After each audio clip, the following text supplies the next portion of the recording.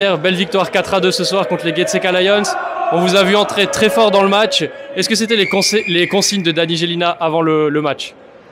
Ah Oui, nous on sait qu'on a une quatrième ligne où vraiment on doit mettre de l'intensité dans, le match. On est là pour donner du rythme, donner du souffle aux autres lignes. Donc on est là, on donne tout et, et c'est comme ça qu'on va jouer tous les matchs euh, sûrement cette année. Si on revient sur le match de hier soir, tu as marqué ton premier goal en Swiss League.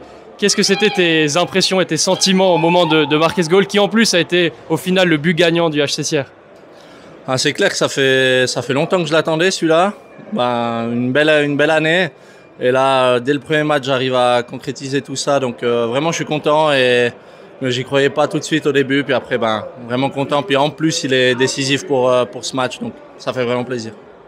Encore bravo pour ce goal. Merci Sven. Merci aussi pour cette victoire et bravo. Et on espère que ton état de forme va continuer pour le derby mardi soir. Merci.